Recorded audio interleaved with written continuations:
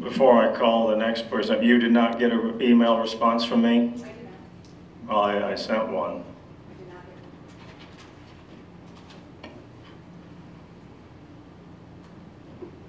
Well, I did send you one on, uh, I believe it was January 1st or 2nd. I apologize for taking so long to get back to you. I explained uh, uh, the, uh, I responded to uh, your inquiry.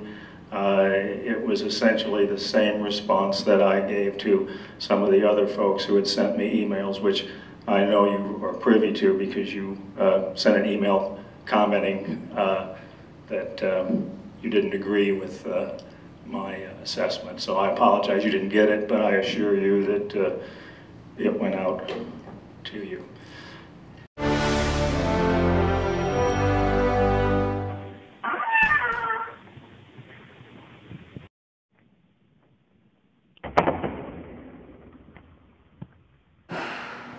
With gas. Yeah, we are.